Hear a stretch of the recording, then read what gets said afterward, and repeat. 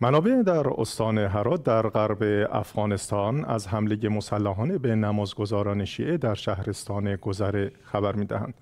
به گفته منابع در این حمله شش نفر از جمله امام جماعت مسجد امام زمان به شهادت رسیدند. در میان شهدا از جمله یک زن و یک کودک هم به چشم می‌خورد. به گفته منابع این حمله دوشنبه شب دهم اردیبهشت پس از ادای نماز مغرب در شهرک محمدی شهرستان گذره رخ داده است. گفته شده هنگامی که نمازگزاران از مسجد به طرف خانه هایشان می رفتند، هدف حمله مسلحانه قرار گرفتند. به گفته منابع، مهاجمان دو نفر سوار بر موتورسیکلت بوده و از حیات مسجد فرار کردند. مسئولیت این حمله را تا کنون هیچ گروهی بر عهده نگرفته است. سال گذشته نیز در یک حمله مسلحانه در منطقه هزار نشین جبرئیل در ناحیه 13 شهر هرات دست کم پنج نفر از جمله دو عالم دینی برجسته شیعیان شهید و سه نفر دیگر زخمی شدند. همچنین سه عالم دینی دیگر شیعه در دو حمله دیگر در جبریل و شهرستان انجیل هرات به شهادت رسیده بودند. مسئولیت حملات سال گذشته را نیز هیچ گروهی بر عهده نگرفته بود.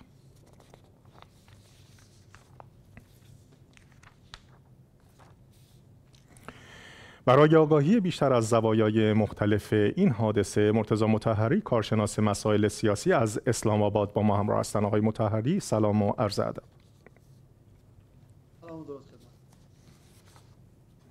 آقای متحری لطفا در رابطه با جزئیات این حادثه تروریستی توضیح بفرمایید. شما از شود.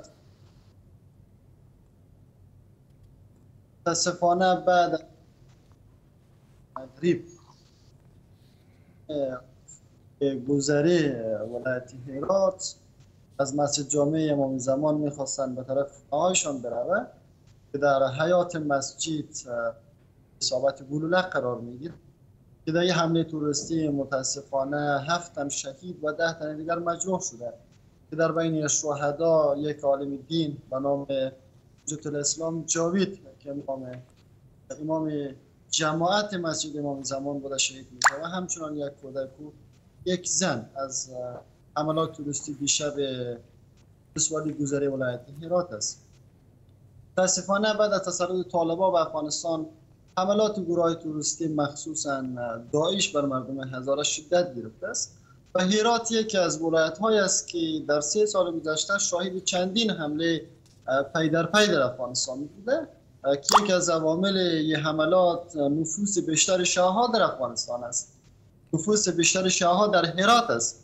وقتی ما شما نفوس هرات مورد بررسی قرار میدیم 65 درصد از نفوس هرات شاه افغانستان شاه هرات تشکیل میده و همچنان حملات پی در پی گروه های توریستی که اکثر حملات هیچ گروهی به عهده نگرفت بر مردم شیعه و هزاره در هرات قابل نگرانی بود که ما در گذشته بیان کردیم و حمله دیشب موضوع قسمی برای شما بیان کردم جریان از موضوع بوده است بله آیا عوامل این حمله تروریستی و حملات قبلی که از چند ماه گذشته مشابه آن چند بار اتفاق افتاده تا کنون شناسایی شدند؟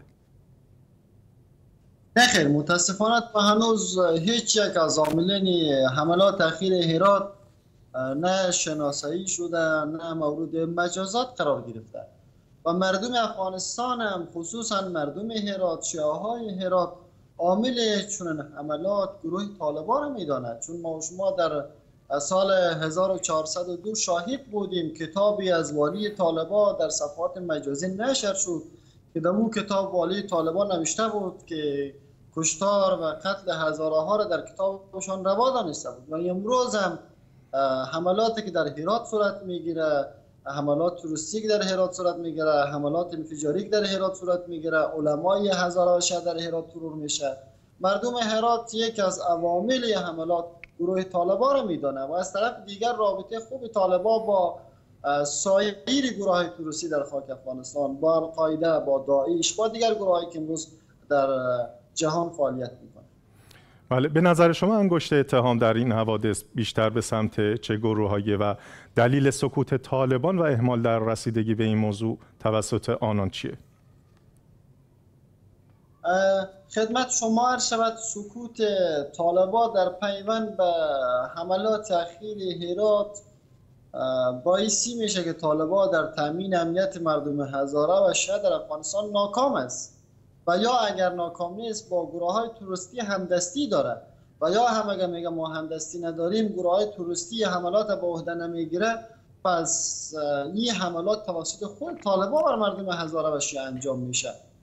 در حکومت قبلی افغانستان وقتی حملات گروه های توریستی مخصوصا طالب و داعش بر مساجد و مراکز آموزشی هزاره ها و شاه در نقاط افغانستان شدت گرفت حکومت قبلی افغانستان یک گزینه را انتخاب کرد که در مساجد هزاره در حسینی هزاره ها و شیعه و در مراکز آموزشی هزاره ها و شیعه ها افراد نظامی مقرر بکنه که از اون مکان محافظت بکنه اما متاسفانه با آمدن طالبان محافظین مساجد و حسینی ها و مراکز آموزشی جمعوری شد صلاحایشان طالبان گرفتن و امروز در صورتی که شعار می‌دادن ما از مردم هزاره تامین امنیت می‌کنن ما نه تامین امنیت می‌تونه و حتی بزرگترین اشتباهی در حق مردم هزاره و شیعه انجام داده صلاحایی که قبلا دولت برای مساجد تحویل داده بود اونا را پس گرفته. و از طرف دیگر ما و شما در سال گذشته شاهدی حملات پی در پی, بر عالما در هرات بودیم که بعد از این حادثه مردم هرات شورای علمای شیعه هرات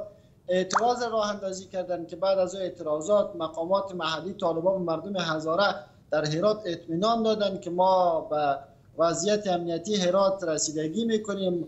عاملین حملات مجازات می‌کنیم دستگیر می‌کنیم. متاسفانه یک سال از این موضوع گذشت ما تا هنوز هیچ مجرمی دستگیر نشده و هیچ کس در پیوند به این قضیه محاکمه نشده است. با تشکر از مرتضی متحری کارشناس مسائل سیاسی که از اسلام آباد با ما همراه بودند.